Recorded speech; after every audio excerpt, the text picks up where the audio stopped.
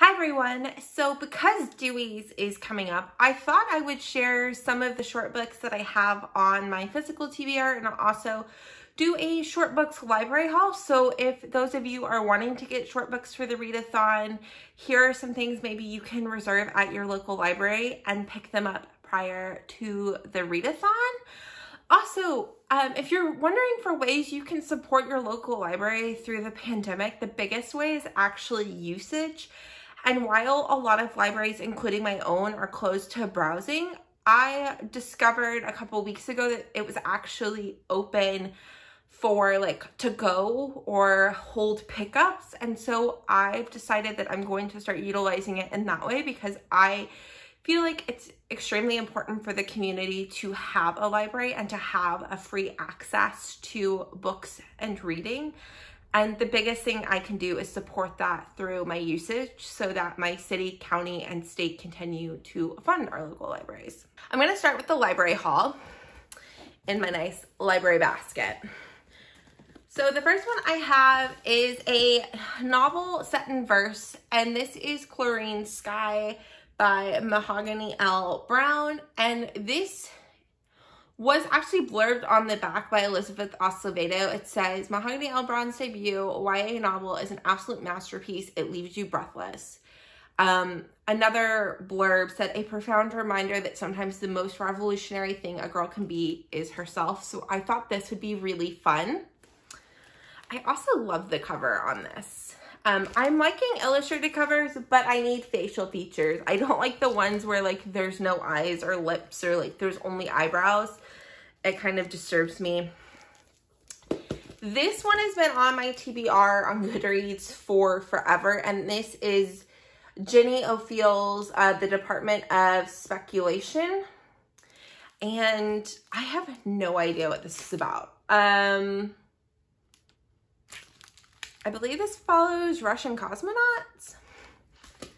I believe it was on the Book Riot podcast at some point. I can't remember why I put it on. Um, this is The Buddha in the Attic by uh, the library sticker. Puts the author's name. Oh, uh, Julie Otsuka's.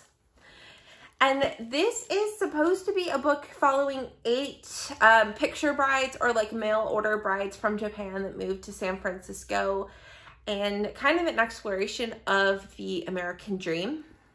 I also got the bookshop by Florence, by Penelope Fitzgerald. And this is about an older lady who risks her inheritance to open a bookshop in a town that doesn't have a bookshop.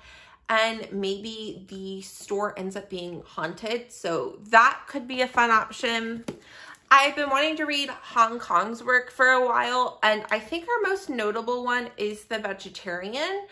Um, and this is um, translated into English from Korean. Um, so I'm hoping I like this. I have not actually run into somebody who has rated it any lower than three stars. So I'm thinking this is going to be a hit. Um, this is Brave Red Smart Frog, uh, new book of old tales. I've been in the mood for fairy tale retelling. I picked up a graphic novel. Um, I'm not a huge graphic novel lover, um, but I do love Neil Gaiman. And I also tend to like fairy tale-ish graphic novels or more like graphic memoirs. Um, and this is Snow Glass Apples. I believe this is a retelling of Snow White. Um, and art style for anybody who's wondering. Okay, this is Murderbot by Martha Wells. I was turned on to this by Mara at Books Like Whoa, and I was surprised to see how short it was. So this could be a good readathon read, or I might pick this up now. This is the one I'm most interested in. Um, Dreams from Many Rivers by Margarita Engle. This is a um, Hispanic history told in poems of the United States with illustrations. So it is written and illustrated by um, Hispanic women. Then the last book I got, I've been wanting to read Fredrik Backman's work. Um, he is a, is it Swiss? Or is it Finland? I can't remember, but um, his work, uh, most of his work is translated into English, and I didn't know where to start, but I figured what better time to start than when I'm trying to read short books, and that this one is, and every morning the way home gets longer and longer. If you don't think that's the best place to start with his work, please let me know. And on to the short books I have on my physical TBR that I've like pulled aside for this month and the readathon. Um, this one is I Heard the Owl Call My Name by Margaret Craven. Um, this is a Native American written classic. Um, I believe it was written in the 70s. Um, and it features and it features a totem pole, which I haven't seen since um, I was a kid and we lived in Alaska and those were everywhere. Uh, this one I've heard several people talk about as like a very influential book in their life. And this is Show Your Work by Austin Kleon. Um, and not only is it short, but there's also photos throughout. So that should be pretty quick. This one I think I featured on another TBR, and this is Fierce Fairy Tales, Poems and Stories to uh, Stir Your Soul by Nikita Gill. This is one that I think I will read throughout the month kind of at night in bed. I feel like this is a good thing for that one. So I probably won't read it in the readathon. Then I have a couple of adult classics. This is Black Venus by Angela Carter. She's known for her um, fairy tale retellings and carnival-esque um, style books, so I'm hoping I will love this. Uh, this is The Tenth Man by, um, I don't know his first name, but his last name is Greene. Um, this is set in a prison where every so many hours they have to kill a person and he is the one who draws the short straw and he basically sells all of his life's possessions to save his life. Um, so I thought this would be a very interesting exploration. This one is Imaginary Beings and to be honest, I got it because of the cover but I love the back of the book. It says, few readers will want or be able to resist this modern bestiary. Here you will find familiar griffons, minotaurs, and unicorns, as well as the monkey of the inkpot and other undeniable curious beasts. Borges' cunning and humorous commentary is a sheer delight.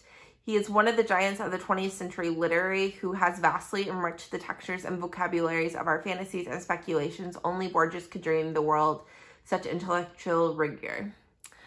Um, and the cover is just absolutely gorgeous. A couple of children's classics I have is The Wind and the Willow by Kenneth Grahame. I have read a portion of this as a child and I've also seen some of the adaptations.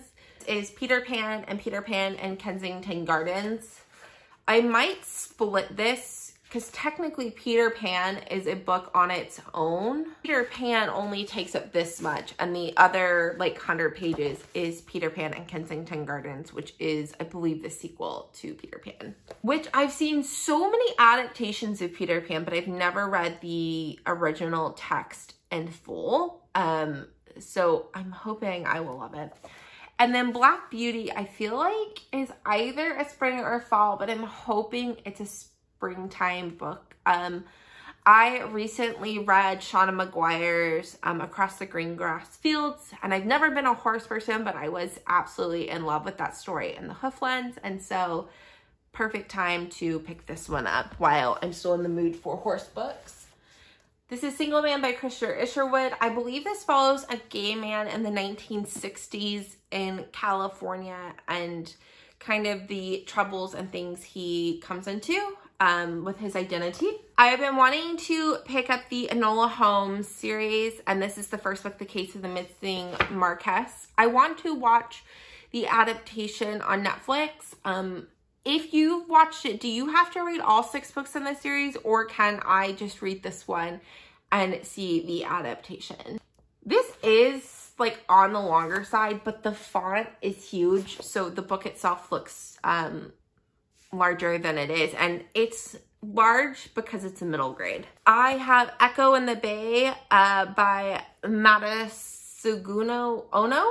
Um, and I can't remember why I picked this up, but it's short and I'm hoping I like it.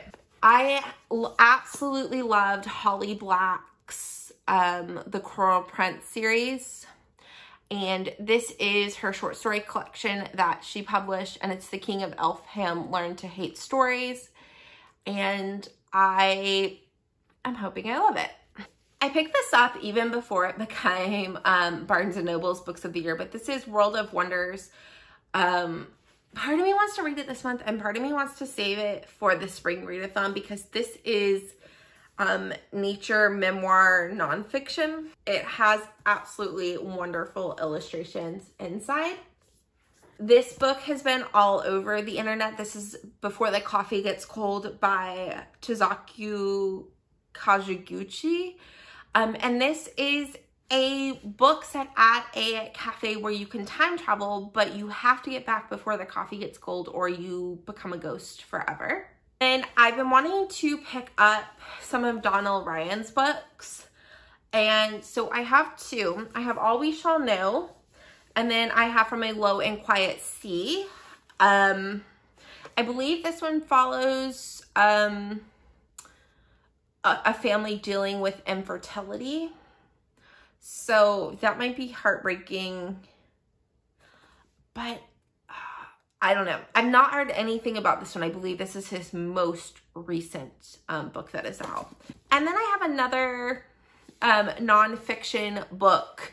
And this is This Book Will Make You Kinder by Henry James and Garrett, which is um, a look into empathy with little short cartoons um, that are dispersed throughout. And to be honest, I think the world needs a little bit more kindness right now. Those are some of the short books I have on my TBR and uh, library book haul because I do find that I like short books. I find that an author who can compose their thoughts concisely and doesn't write more than what the story is needed. I tend to prefer that to big flowery um, writing. I like short and concise.